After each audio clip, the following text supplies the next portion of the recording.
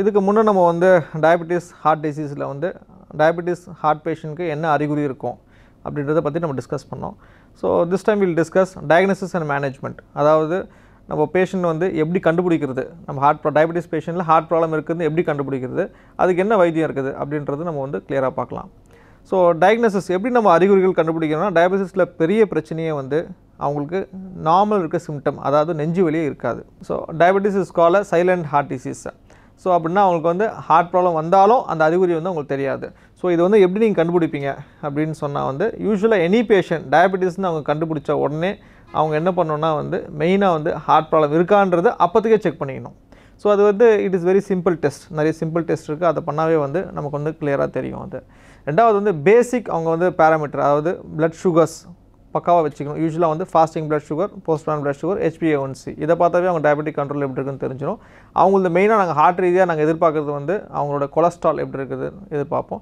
ரெண்டாவது வந்து urea gratin kidney எப்படி இருக்குன்னு எதிர்பார்ப்போம். இதை வச்சு தான் வந்து நாங்கள் வந்து மருந்து மாத்திரைகள் கொடுக்குறதும் சரி அவங்க மேனேஜ்மெண்ட் எப்படி இருக்கான்றதை டிசைட் பண்ணுவோம்.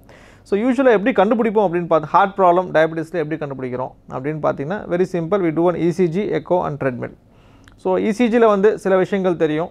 எக்கோவில் வந்து பார்க்கும்போது உங்கள் ஹார்ட் பம்பிங் எப்படி இருக்குது நான் ஏற்கனவே சொல்லியிருந்தேன் உங்களுக்கு டயபெட்டிஸில் வந்து எசிம்டமேட்டிக் ஹார்ட் ஃபெயிலியர் அதாவது அவங்களுக்கு அறிகுறியே தெரியாது மூச்சு மட்டும் வாங்கும் அப்படின்னு சொல்லியிருக்கேன் அவங்களுக்கு அவங்களது என்ன இருக்குன்னு பார்த்தீங்கன்னா எக்கோவில் வந்து ஹார்ட் பம்பிங் குறைஞ்சிருக்கும். ஸோ ஹார்ட் பம்பிங் குறைஞ்சிருக்கும் போது நமக்கு வெளியே தெரியாது. அவங்க பாட்டுக்கு சாதாரணமாக வேறு ஏதோ நினச்சிட்டு இருப்பாங்க ஆஸ்மா இருக்குமோ அப்படின்னு நினச்சிட்டு இருப்பாங்க. ஸோ இவங்களத வந்து நம்ம வந்து எக்கோ பண்ணி பார்க்கும்போது ஹார்ட் பம்பிங் குறைஞ்சிருக்குதா? ரெண்டாவது வேல்வ் எப்படி இருக்குது அதில் வந்து தெரியாமல் ஹார்ட் அட்டாக்கான சிம்டம்ஸ் வந்திருக்கான்றது எங்களுக்கு தெரியும் அது. இதோட முக்கியம் இப்போ இசிஜியும் நார்மலாக இருக்குது எக்கோவும் நார்மலாக இருக்குது அப்போ போதுமா அவங்களுக்குன்னா? கண்டிப்பாக போதாது. அவங்களுக்கு நம்ம என்ன பண்ணோம்னா நான் சொன்ன டயபெட்டிஸ் சைலண்ட் ஹார்ட் டிசீஸ்னு சொல்லிட்டு. ஸோ அவங்கள நம்ம வந்து ட்ரெட்மில் பண்ண வைக்கணும். ட்ரெட்மில் என்னென்னா வந்து ஒரு இசிஜி மாட்டிட்டு ஒரு பெல்ட்டில் வேகமாக நடக்க வைப்போம் அவங்கள.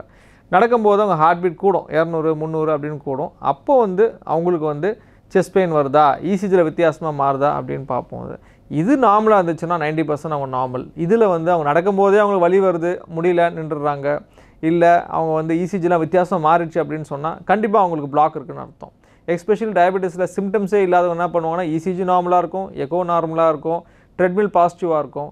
அப்போ நாங்கள் என்ன பண்ணுவோம்? We gone to angiogram angiogram பண்ணால் மூணு பிளாக் இருக்கும். இதுதான் டயபெட்டிஸோட scenario so any patient diabetes வந்து யூஸ்வலாக வந்து நம்ம பேசிக் டெஸ்ட் எப்போ டயபெட்டிஸ்னு கண்டுபிடிச்சிங்களோ அப்போயே வந்து நீங்கள் பேசிக் டெஸ்ட் வந்து ஹார்ட்டுக்கு வந்து செக் பண்ணிக்கணும். So that you can avoid unwanted admissions இந்த ஐசியூ இது வந்து ரெண்டாவது மேனேஜ்மெண்ட் பொறுத்த வரைக்கும் வந்து ட்ரீட்மெண்ட் ஒன்ஸ் வந்து டயபெட்டிஸ் வந்தவொடனே we concentrate on blood sugars உங்கள் சுகர் கண்ட்ரோல் பக்காவாக இருக்கணும். அதில் வந்து நோ டவுட் ரெண்டாவது கொலஸ்ட்ரால் கண்ட்ரோல் கொலஸ்ட்ராலுக்கு வந்து அக்கார்டிங் டு கைட்லைன்ஸ் நீங்கள் வந்து usually how to take the tablets அந்த மூணாவது வந்து பார்த்தோன்னா வந்து யூஸ்வலாக வந்து suppose if you're TMT's positive ஒரு எக்கோல் அப்னாமாலிட்டி இருந்துச்சுன்னு சொன்னால் அர்லியராகவே சிவியர் ஹார்ட் அட்டாக் வரத்துக்கு முன்னாடி என்ன பண்ணணும்னா நீங்கள் ஆன்ஜியோகிராம் பண்ணி பிளாக் இருக்கான்னு பார்த்துக்கணும் ஏன்னா டயபெட்டிஸில் பிரச்சனை என்னென்னா வந்து மல்டிபிள் பிளாக்ஸ் ரொம்ப காமன் ஸோ மல்டிவெசல் பிளாக் ரொம்ப காமனு அதனால் வந்து மோஸ்ட்டாக பைபாஸ் போகிறது இல்லாட்டி மல்டிபிள் ஸ்டென்ஸ் வைக்கிறது இந்த மாதிரி கா ரீசன்ஸ்லாம் வந்து ரொம்ப காமனு ஸோ அதனால் அர்லியராக நீங்கள் டாக்டரை பார்த்து நல்லா டயபெட்டிக் கண்ட்ரோல் பண்ணிவிட்டு அர்லியராகவே ட்ரெஸ் பண்ணி அப்படியே ஃபாலோ பண்ணீங்கன்னு சொன்னிங்கன்னா ஃப்யூச்சரில் வந்து உங்களுக்கு அன்வான்ட் ஆன்ஜியோகிராமும் தேவையில்லை பிளாக்ஸுக்கு சர்ஜரியும் தேவையில்லை. That is very important always check early and maintain your self safe